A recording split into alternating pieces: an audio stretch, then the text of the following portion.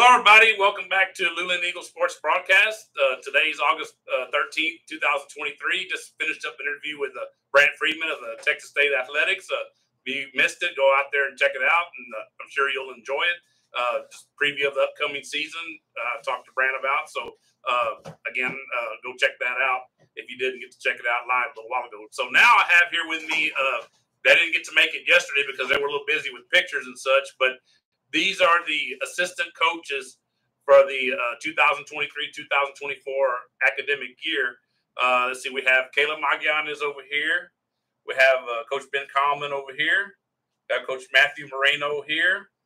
Got Coach Aaron Bermudez right here. And then we have Nick. Nick, what's your last name again? Nick Torres. Nick Torres. And then uh, Montez. Montrez. Oh, Montrez, I'm sorry. See, I knew I was going to mess it up. Sorry about that. So, Montrez, your last name, Montrez? Smith. Smith, okay. So uh, these are the new coaches, or a couple of them new, but uh, all the coaches, assistant coaches for 2023, 2024. So, guys, welcome to Luling Eagle Sports Broadcast. Glad to have all of you on.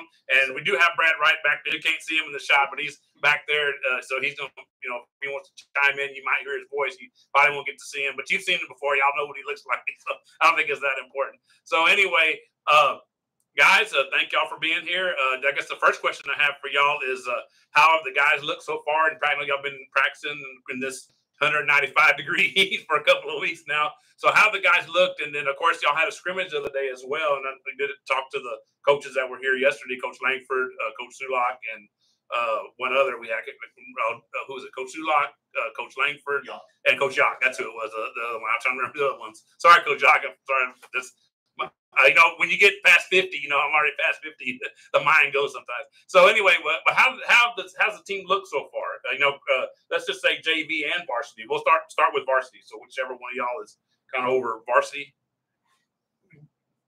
Uh, we, uh, we've looked good in practice. Uh, we're young. We lost a lot of experience from last season but we've got guys stepping up and filling in in all the key roles. Our O line is young, but they're uh, they play hard and they're coachable. Our skill guys are kind of some of them, you know, are bringing back some good experience from the past few seasons.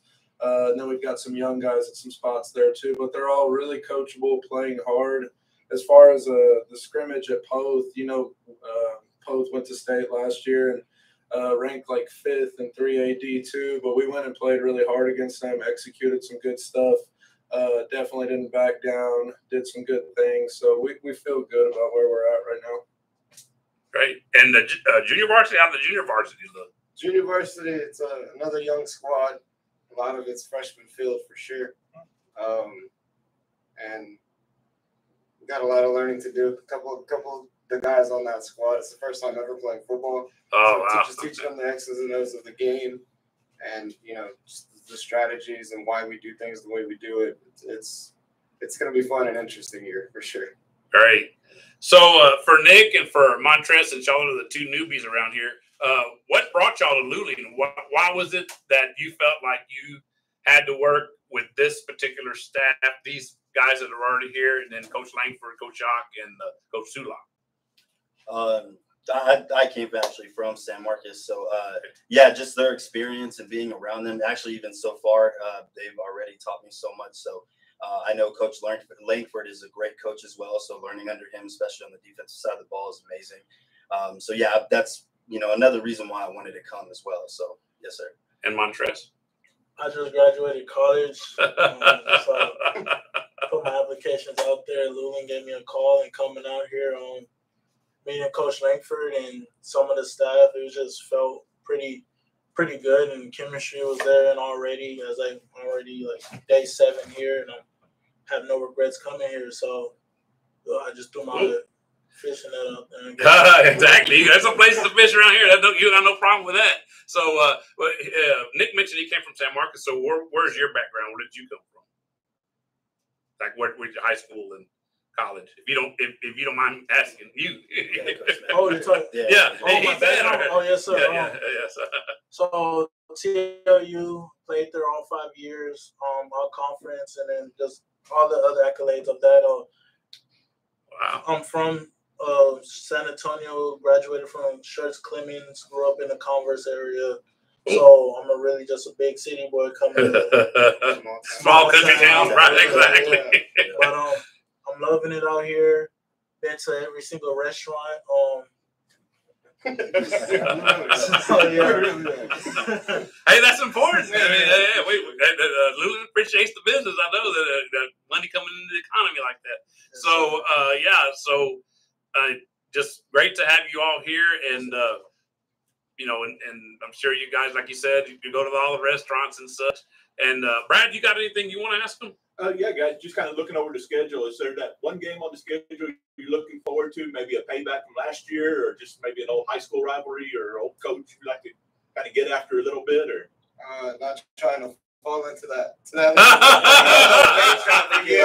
I think we know about that from last year. Um, I, it, it's just going to be interesting across the board the whole season. I think, like, last year we hung around with a lot of guys who maybe didn't think we could hang around with them. Like, we played hard, kind of like made them a little bit angry. It's like, we're going to come and play. Like, that's, this is what we're to do. We're going to show that, you know, we belong to be on this field. Like, we, we play the same game you love. Like, that's it. Point blank period. Like, we're, we're going to come, we're going to, we're to try to execute, and we're just going to compete. Like, that, that's, that's what building football is about.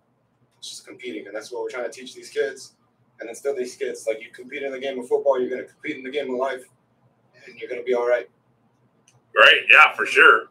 Yeah, and uh, I guess what I'll ask, is I think I did ask uh, Coach Langford and uh, and the crew this yesterday. Uh, right now, as of today, of course, the season, like I said, just started. Y'all only had one scrimmage, but who has stood out to y'all so far, whether it be on junior varsity or varsity? And then let's forward a little bit to the end of the season, end of the regular season, because uh, like I said yesterday, and Coach Langford said if the team does not make the playoffs, it's going to be considered a very disappointing year. So I'm going to say at the end of the regular season, who do you see as making an impact? You know, like I said, both right now, who do you see so far, and then toward the end of the season, who do you see having? You can look back and say that guy. I thought that guy would do well, and he did. He met or even exceeded my expectations. Uh, somebody that I we've got guys from last year that made an impact and they're making an impact again already this year. But somebody that really stepped up over the summer and already is making a big impact, uh, more so than last year, is Hunter Boyd. Uh, he's kind of like holding down the tight end position. He really developed all summer and uh, came to a lot of workouts and changed his body and put on more muscle and you know more power and stuff like that. So he's holding down the tight end position and at defensive end, he you know like wrecked shop at both, and he really made an impact defensively. So you know compared to the past few seasons, he has come a long way in his development, and so I, I think we're going to really lean on him a lot on both sides of the ball, uh, and like his senior leadership and his production. And uh, like I said, that uh, now, but then like at the end, do you see anyone like maybe it's working right now that maybe like y'all said, some are new, some have never like when Aaron mentioned someone that never played football before, that maybe some of those will emerge as uh, being a key parts of the team. Sure, Yeah, buddy on the O I line. have, Yeah. yeah, for sure. Uh, like, like the coaches said earlier, we have a lot of young, uh, new faces here in high school. Lot of freshmen. Um, it's a double-edged sword. Like, we, like Coach Bermudez had said, that we have lost a lot of experience, but um, we've also gained a lot of young, bright minds that we can mold. And uh, my two that are sticking out to me right now uh, on the line are Lorenzo and Jose Almanza. Lorenzo is a natural leader. Yes, sir. Yes, sir. Yes, sir. He'll, he'll communicate with the whole line. And Jose Almanza is incredibly coachable. And if I had a line full of Jose Almanzas, man, it'd be crazy. But those guys are really looking good. Oh, great. So, uh, and then I did ask Coach Langford. I know I asked them this uh, yesterday and, and then the crew.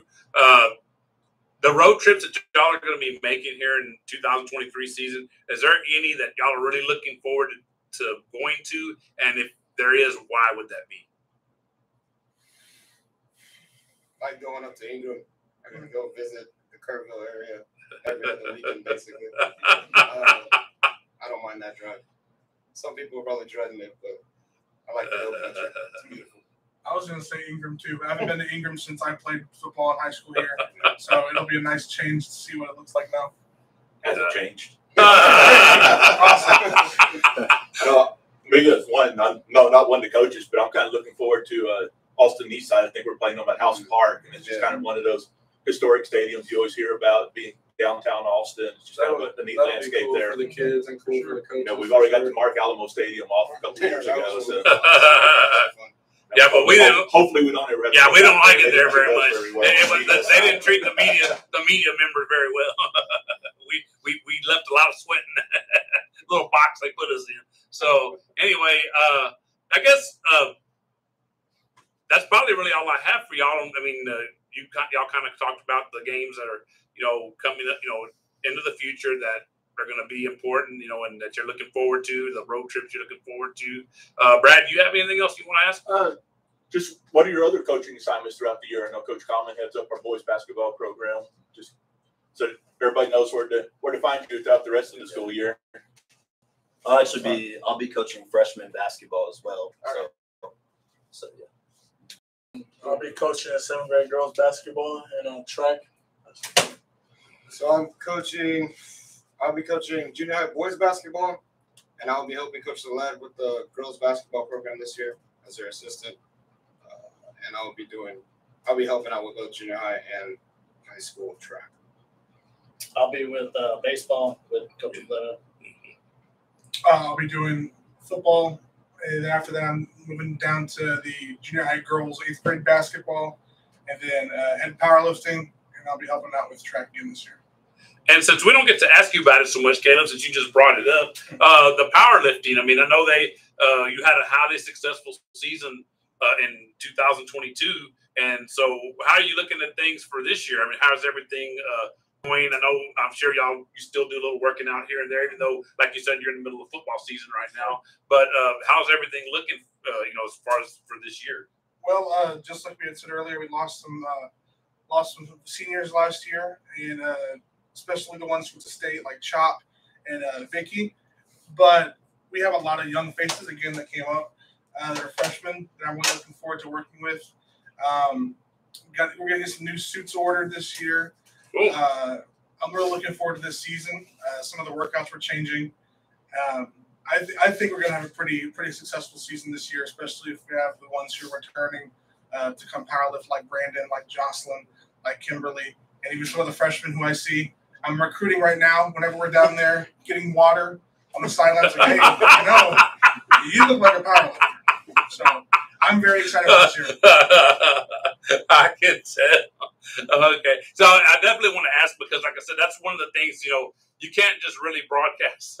not right, right? We can't just broadcast powerlifting on the LESB. But uh, but yeah, we could. We may, we, we may have to look at that sometime. See if we can figure out how exactly we can do something like that. But uh, you know, definitely uh, uh, excited to have all you guys back. You know, it's that time of year. It's, you know, it's the down the yeah, like Christmas. I hear I keep hearing that word Christmas uh, about a lot of different things. And I, that's what I call it too here.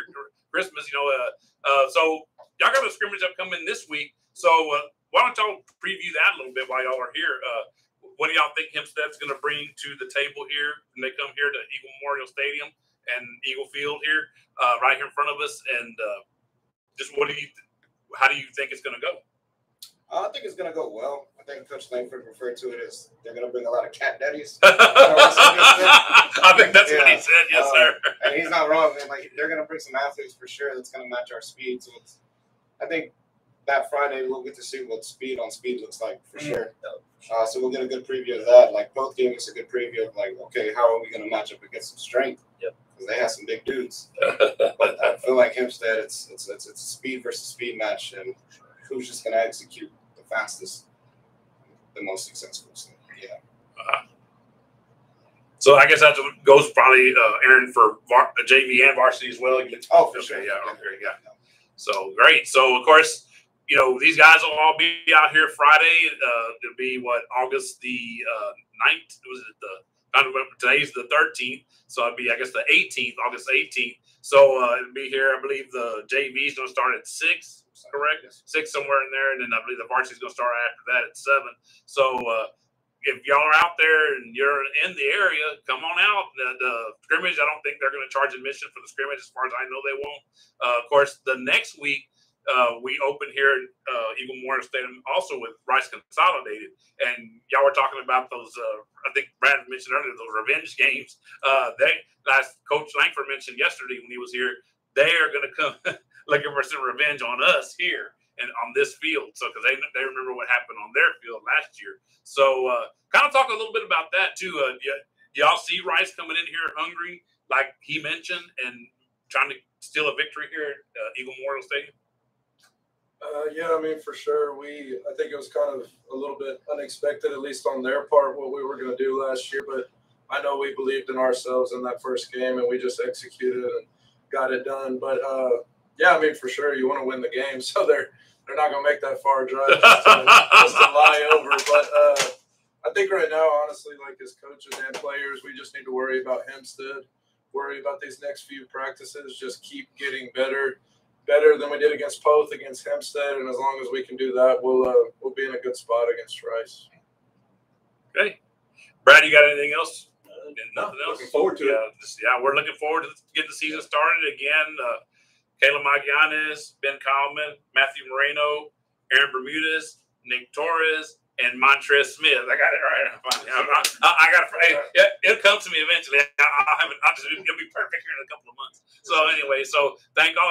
Thanks to all you guys for joining us here. Uh, Brad, Wright, and myself. On of course, there's a couple of other of, other of us. Uh, Greg Tracy, y'all have an opportunity to meet him, and uh, Logan Pettis. They're the other two members of our uh, broadcast crew. Of course, uh, Greg's wife Stephanie Tracy does the camera for us. So uh, we'll make sure that we introduce them to all y'all uh, as y'all are out and about going forward. But uh, for now, we'll just go ahead and let y'all go. Thank y'all for taking part of your Sunday afternoon to come out and hang out here with us on LESB, and uh, good luck to y'all this season.